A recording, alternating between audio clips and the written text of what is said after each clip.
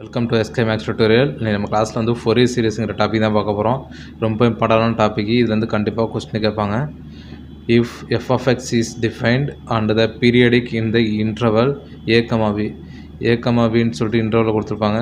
ஒரு function then it's Fourier series is f of x equal to general formula a naught two by two plus summation n equal to one infinitive a n cos nx plus summation n is equal to 1 infinitive bn sin nx.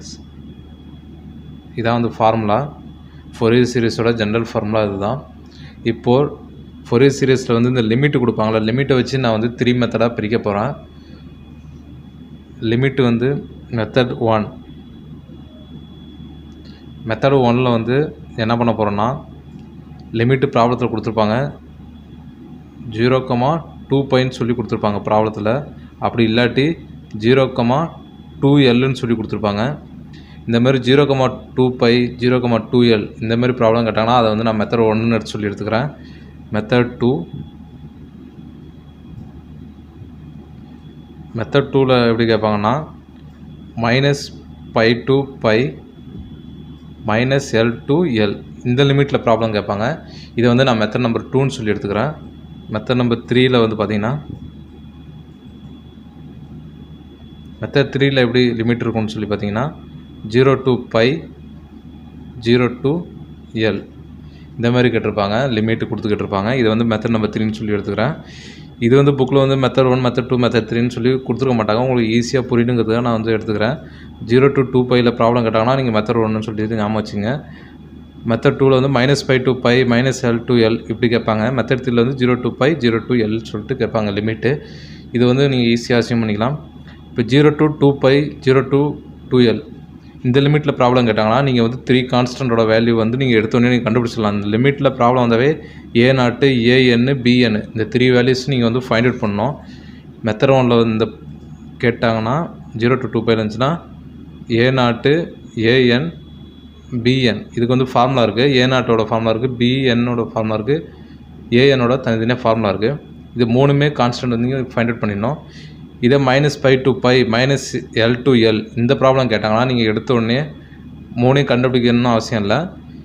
இந்தமாரி limit கேட்டாங்கன்னா first வந்து கொடுத்துருக்குற function வந்து ஈவனாக add ஃபங்க்ஷனான்னு சொல்லிட்டு பாருங்கள் இப்போ even ஃபங்க்ஷனாக இருந்துச்சுன்னா இந்த லிமிட்டில் கொடுத்தாங்கன்னா ஈவனாக இருந்துச்சுன்னா ஈவனாக இருந்துச்சுன்னா நீங்கள் வந்து ஏ நாட்டு பிஎன் இது ரெண்டு மட்டும் ஃபைண்ட் அவுட் பண்ணால் போதும். பிஎன் சாரி ஏ நாட்டு ஏஎன் இது ரெண்டு மட்டும் நீங்கள் ஃபைண்ட் அவுட் பண்ணால் போதும். பிஎன் வந்து ஜீரோ தான். அதை நீங்கள் வந்து ஃபைண்ட் அவுட் பண்ண அவசியம் இல்லை. ஈவனாக இருந்துச்சுன்னா இதுவே ஆடாக இருந்துச்சுன்னா ஆடாக இருந்துச்சுன்னா நீங்கள் பிஎன் மட்டும் ஃபைண்ட் அவுட் பண்ணால் போதும். ஏ நாட்டும் ஏ ஏ ஏ நாட்டும் ஏஎன்னும் வந்து வேல்யூ வந்து ஜீரோ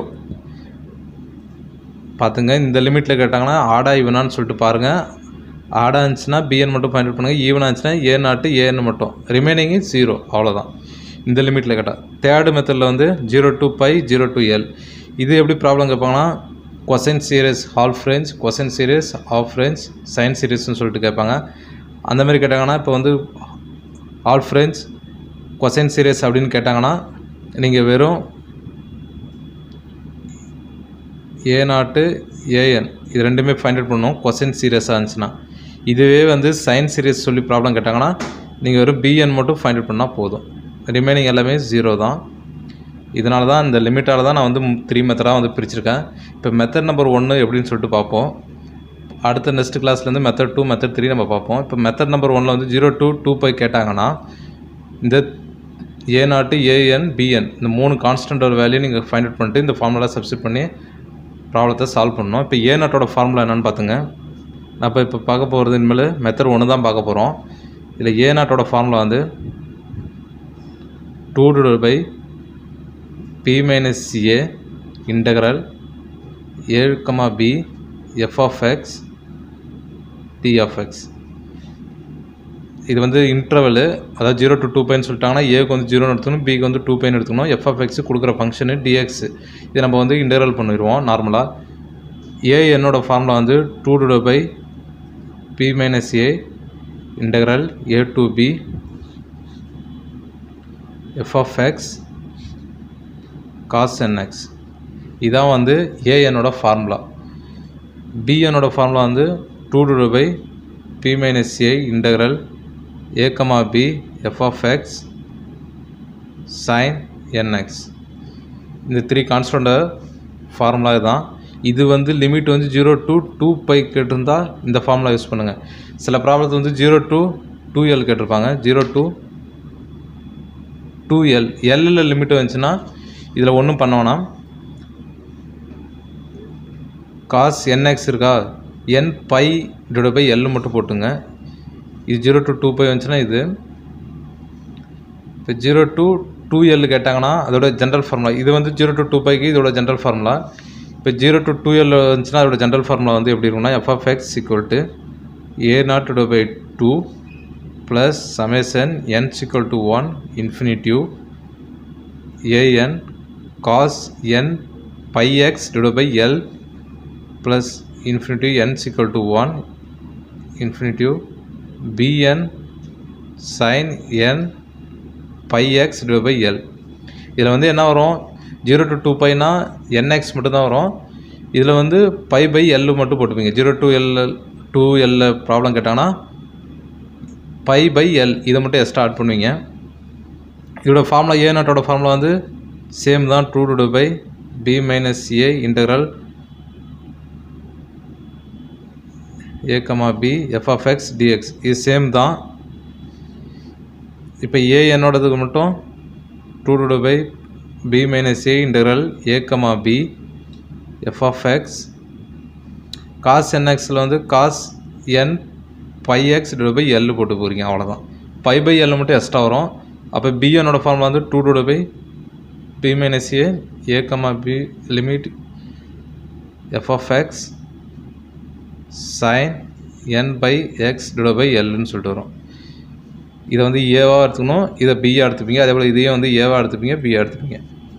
இப்போ மெத்தட் ஒன்னோட ஃபார்முலா உங்களுக்கு புரியுதா? ஜீரோ டு டூ பை கேட்டாங்கன்னா இந்த ஃபார்முலா யூஸ் பண்ணுங்கள் ஜீரோ டு எல்லில் ப்ராப்ளம் கேட்டாங்கன்னா ஜீரோ டு டூ எல்லில் கேட்டாங்கன்னா இந்த ஃபார்முலா யூஸ் பண்ணுங்கள் ஒரே சீரியஸில் வந்து நம்ம வந்து கொஞ்சம் ஃபார்முலாஸ்லாம் பார்ப்போம்.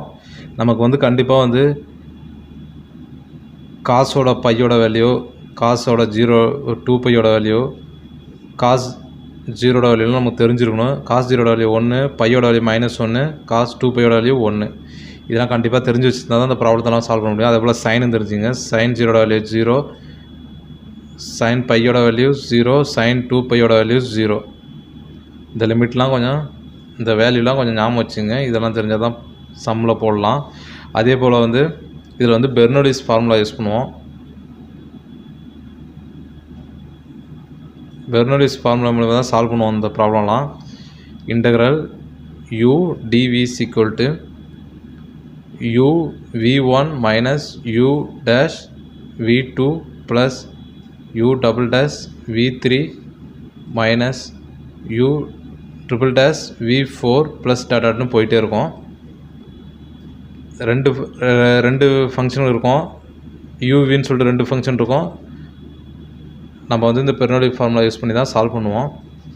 இதில் ஏதாச்சும் டவுட் இருந்ததுன்னா கேளுங்கள் நெக்ஸ்ட் கிளாஸ்லேருந்து நம்ம வந்து ப்ராப்ளம் பார்க்கலாம். ஓகே தேங்க்யூ ஃபார் வாட்சிங்